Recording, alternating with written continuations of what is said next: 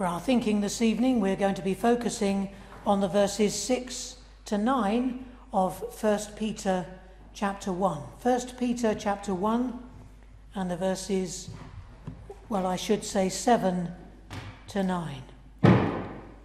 That the trial of your faith, being much more precious than of gold that perisheth, though it be tried with fire, might be found unto praise and honour and glory at the appearing of Jesus Christ, whom, having not seen, ye love, in whom, though now ye see him not, yet believing, ye rejoice with joy unspeakable and full of glory, receiving the end of your faith, even the salvation of your souls. Peter, here in his first epistle, writing perhaps in uh, year, the year 64 AD, is writing to the dispersed believers, believers who had been scattered throughout a very wide region. And the precise locations are given to us here in verse 1 Pontus, Galatia, Cappadocia, Asia, and Bithynia.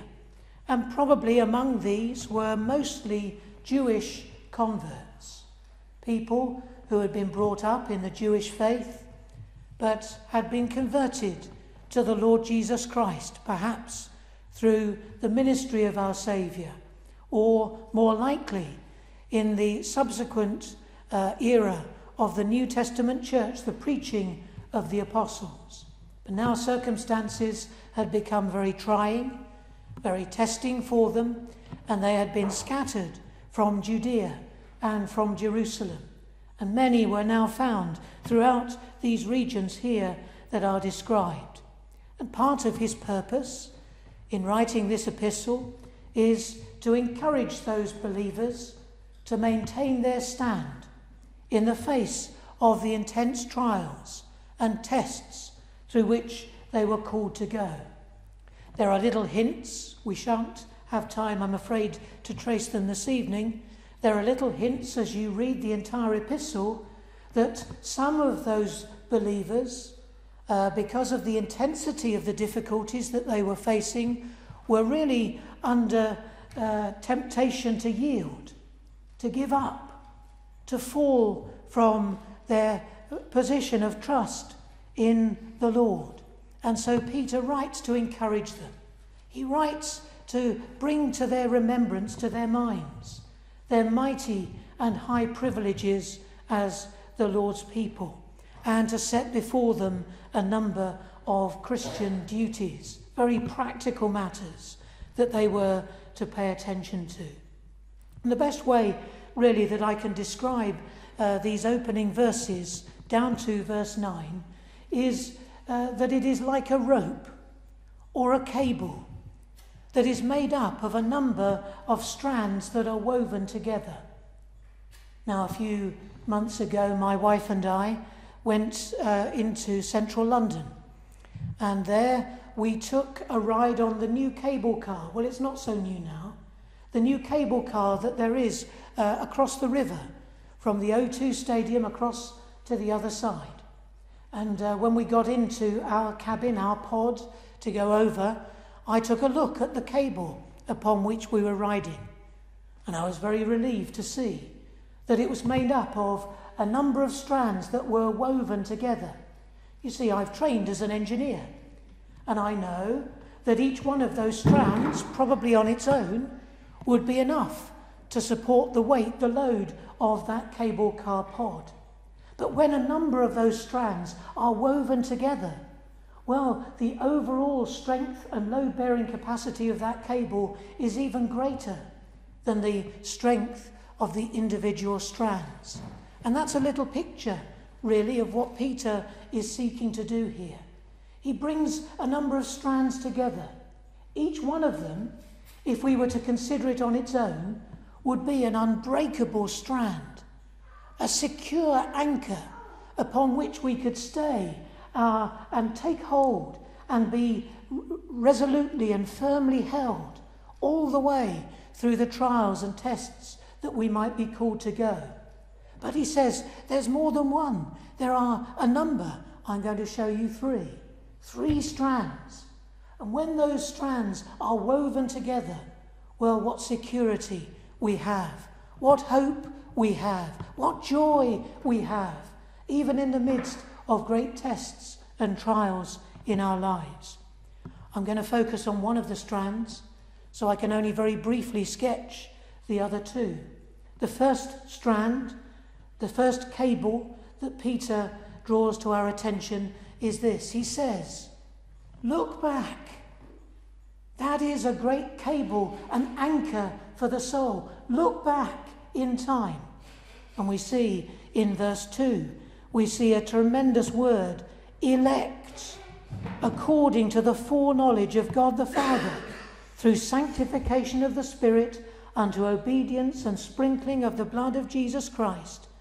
Don't you know? He seems to say to those distressed believers, don't you know that if you look all the way back into eternity past, the Lord God, God the Father, God the Son, and God the Holy Spirit had you in mind when they set their love upon you and determined to do all that was necessary to secure the salvation of your soul. What privileged people we are. And we, from time to time, when we're going through deep and testing trials, need to remember this great uh, doctrine, this one, uh, unassailable truth of the Scripture that all who are the Lord's people, well, we have an anchor that stretches all the way back into eternity past God loved me and set his love upon me even before this world was brought into being. He determined through the Lord Jesus Christ and the Saviour covenanted to do all that was needed for the salvation of my soul. I am elect, and therefore surely I am secure. But there's a second strand and the second strand is not only should we look back, but we should look forward. And we see this in verse 4. Because, well, we see it in verse 3, where we're told that we have been begotten again unto a lively hope, an expectation, a firm anticipation, the, and the resurrection of our Saviour, the Lord Jesus Christ, after he had been put in the grave following his crucifixion. He rose again, victorious over sin, over death, over the enemy of our souls. And that gives us grounds for hope, hope for the future. And what is our hope? Verse 4 to an inheritance, incorruptible and undefiled, and that fadeth not away, reserved in heaven for you.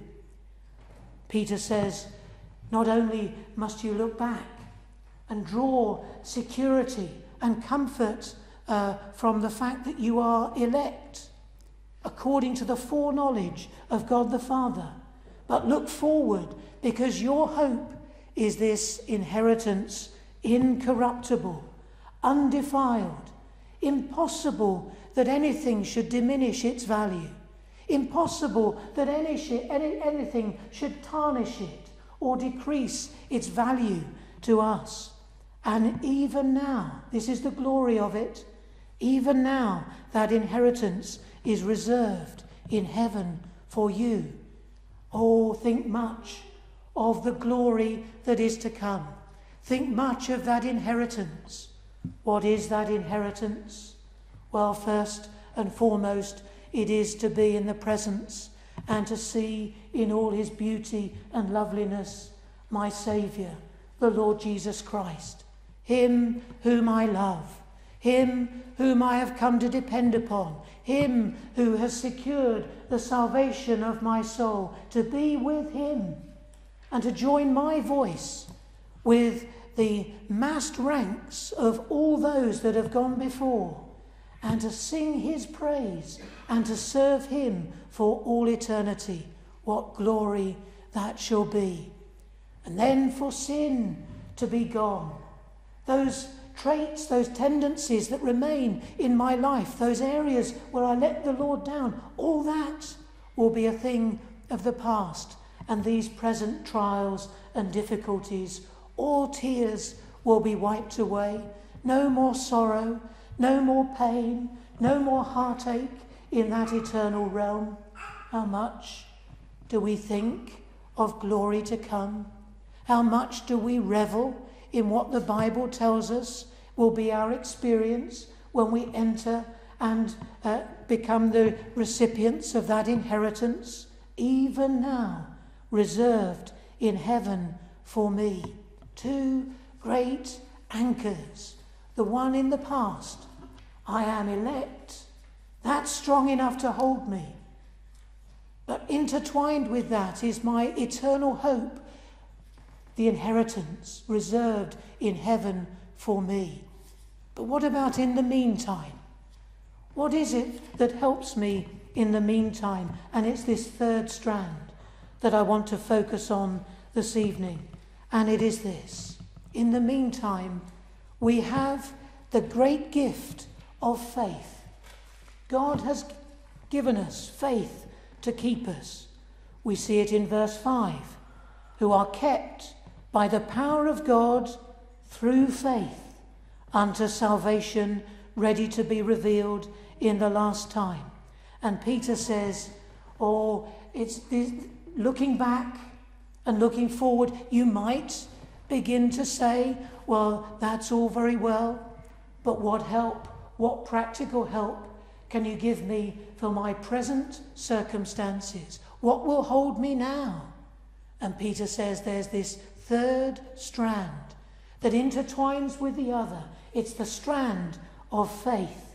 And here we see what I'm calling this evening the immense value of faith, the tremendous value of faith to each one of us, kept through faith.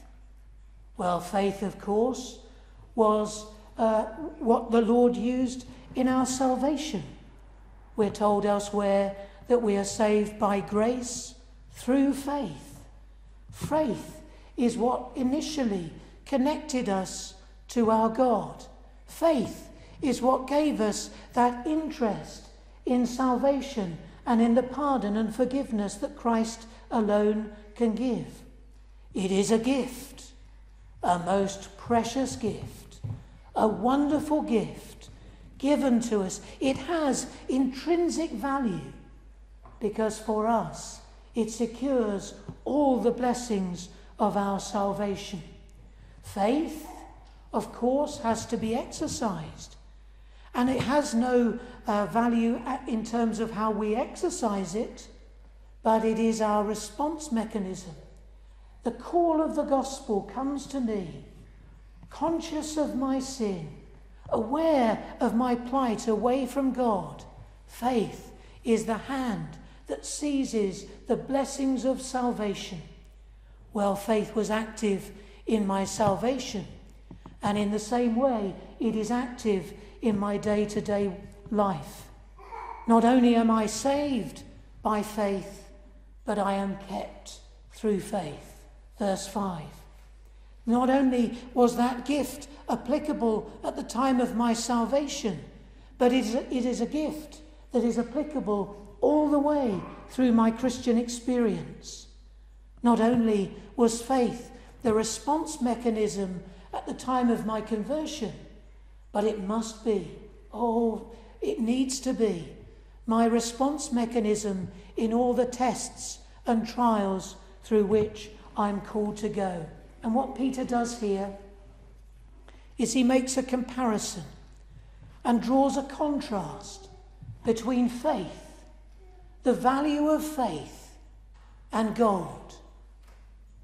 Faith, he says, is much more precious than of gold which perisheth. And it's that contrast and that comparison that I'd like to speak to you about for a few moments this evening. Let me begin then, firstly, by asking you this question How precious is your faith to you? How precious is your faith to you? Now, we don't have much gold at home. In fact, we only have two items of gold as far as I know. And my wife wears both of them her engagement ring and her wedding ring. They're the only things of gold that we have. Don't tell her. They're not particularly valuable. But of course, to her, they are extremely valuable because of what they represent. To her, those rings represent the bond of love that unites us. They are a picture, a graphic symbol of the unity in our marriage, the bond that links us together. Well, some years ago, on our way to church, my wife took her rings off so that she could put hand cream on her hand. This was something that she used to do every Sunday. But something must have happened. I can't remember the detail. But she must have got out of the car. And as we were driving to church, she suddenly went as white as a sheet. Where are my rings? I've lost my rings. And she was visibly concerned and distressed. You see, the loss of those tokens, those, those rings, that little piece of gold to her was so desperate. The story had a happy ending. By chance? Well, of course, by the providence of the Lord. A lady found those rings. She happened to be the mother of a boy that I taught at school at that time, also a Christian. And she handed the rings in and they were returned. And then, oh, the joy on my wife's face to have those rings restored to her. Well, I, I give you that illustration, that story, really to, to again ask the question how precious is your faith to you? Have you allowed your faith to become small in your estimation? And when its exercise ebbs, and when it's not being employed as it ought to be employed, are you not troubled? Does it not concern you? Do, would you not, like my wife, go as white as a sheet to think, I can scarcely trust? How can I have faith in this circumstance? No, we must see the value of faith. We must see uh, what it represents. It is a token, it is all of our relationship with our God. And we desire to value it at all times. And if we ever feel a coldness of heart, a dryness when we come before the Lord, when we read His word or we pray to Him. Or we should uh, uh, be, be very concerned and seek diligently a restoration of that faith, that trust in Him, so that faith is available to us and bright. Have any of us put our faith away? Put it in a cupboard? Have we allowed it to become tarnished? No, the, Peter says faith is much more precious than of gold that perisheth. And we can scarcely uh, go a step without our faith, without that active trust in our God. Keep it bright. And if you feel it ebbing, go to your God and ask Him to restore again that faith, the value of your, that faith in your estimation. Secondly, Peter tells us here that the value of our faith is seen most vividly in tests and in trials. Verse 7, he says that the trial of your faith, being much more precious than of gold that perisheth. I'm sure all of us have seen the programs on the television where the antiques experts uh, gather and people ransack their homes and they get out the, the old heirlooms, the things that are gathering dust in the attic, and they bring them. Is this valuable? Is this something uh, that has some intrinsic value? And sometimes there's a, a measure of uncertainty. And the, the, the expert says, well, we need to subject this to some tests. We need to scrutinize this to see if it's the genuine article. Very often, if it isn't the genuine article, the test will destroy the article. But if it's genuine, well, the reality of its genuineness will be seen, and then its value can be ascertained. You know, it's much the same with our faith. Our faith, yes, we may see some value, we may see some measure of its value in our experience. Oh, but how much more we'll begin to appreciate the value of faith when it's put to the test, because that which is genuine will be seen to be genuine and its value will become apparent to us. And like those people who bring their objects for scrutiny, while it sat in the loft, the value was there, but they had no appreciation of it. They thought it might have value. They weren't sure, but now that it's been tested, now that it's been scrutinized, now they feel, are full of joy because of the value that this thing is established to have. And it's much the same with our faith. Oh, don't ever uh, shrink away from tests or trials. But do remember, this is to test the genuineness of my faith. This will show me the value of faith in my Lord. I must keep firm hold upon him. I must trust him. I must depend upon him. And at the end, we'll have that great joy of seeing the great value. That test is needed to prove the value of faith. Third thing that I want to draw your attention to here is that Peter says that the test is by fire, that the trial of your faith, being much more precious than of gold that perisheth, though it be tried with fire. And in chapter 4, and verse 12, he warns them of a fiery trial, which is to try them. There are great trials, great tests, arduous, painful, difficult trials to go through. And it is a test by fire. And of course, we instinctively think, well, surely that is something that may be destructive. And yet we remember the metaphor here is that of the refiner.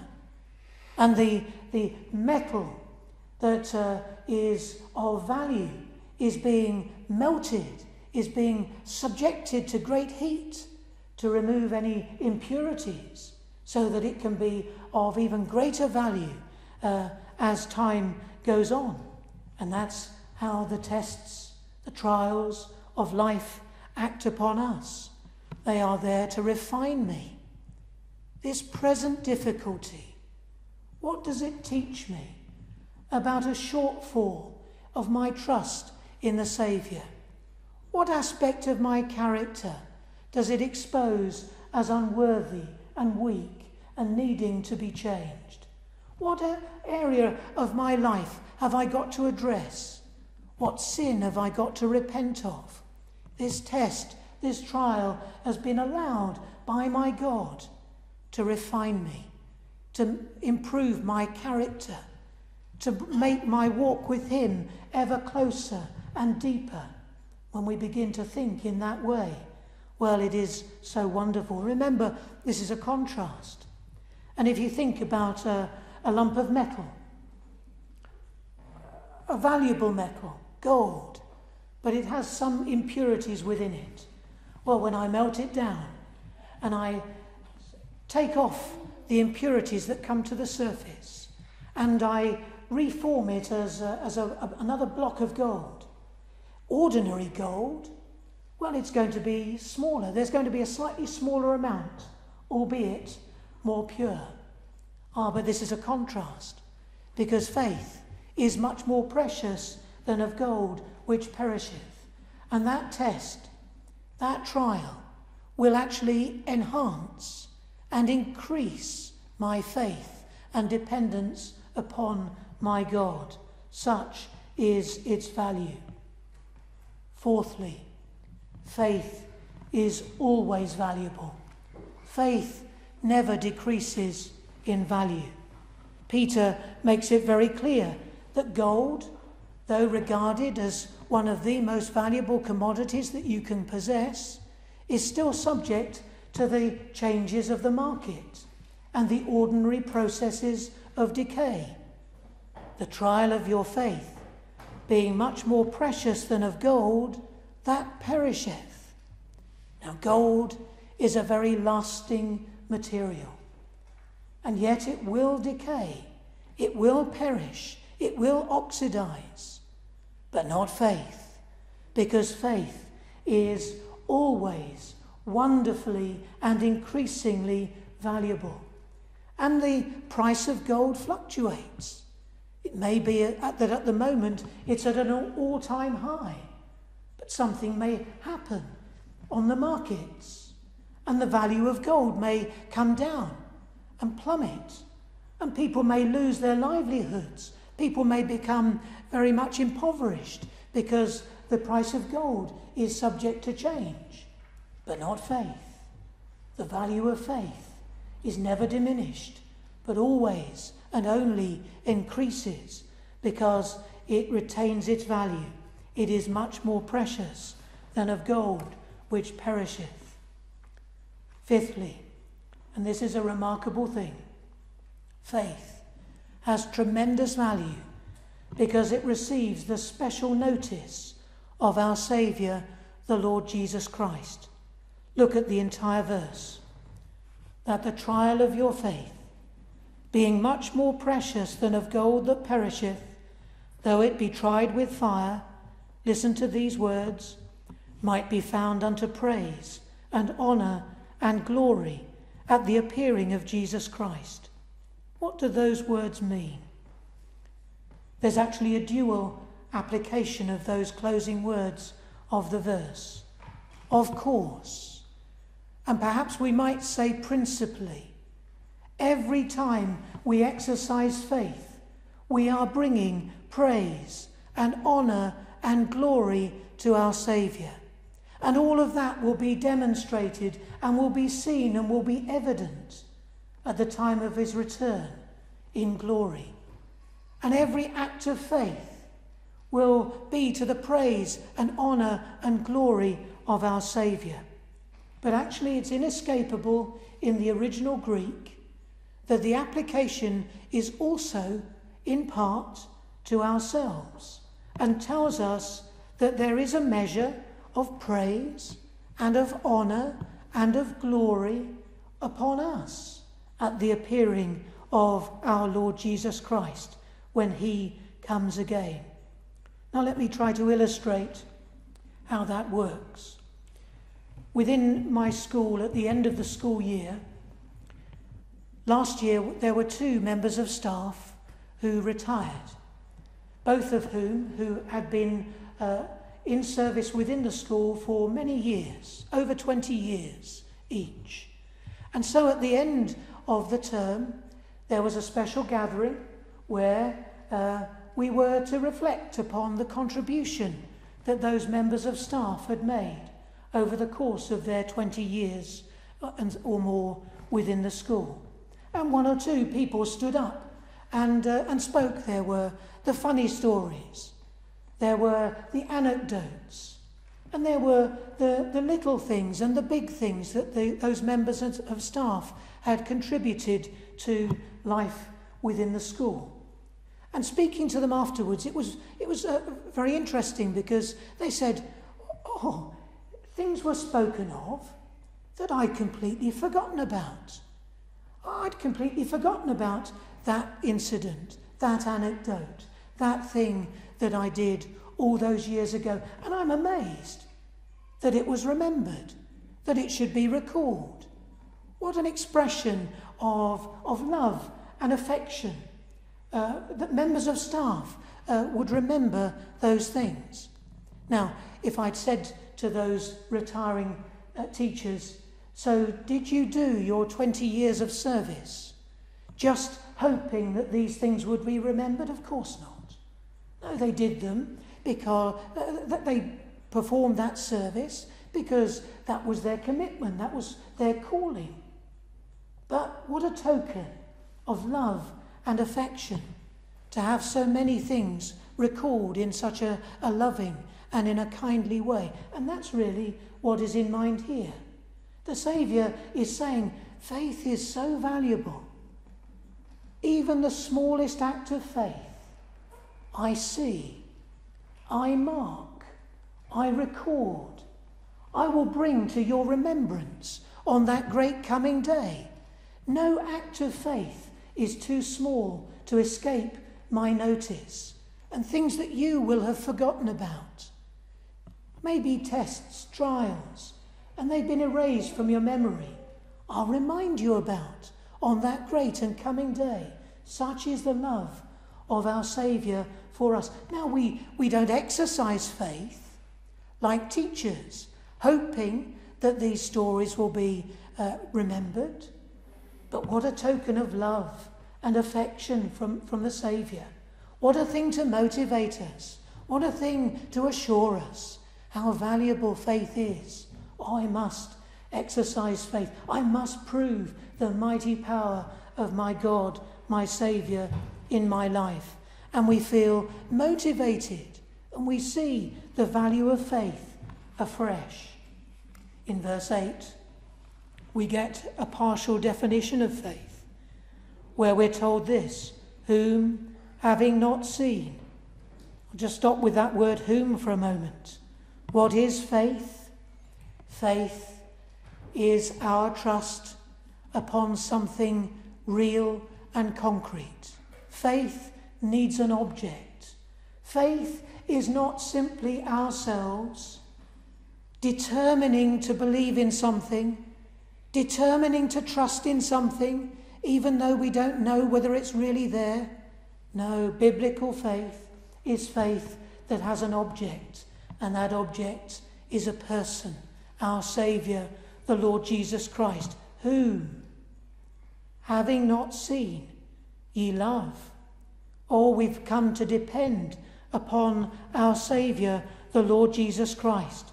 And though ye see him not, yet believing, for us there has been a tremendous transition in our outlook.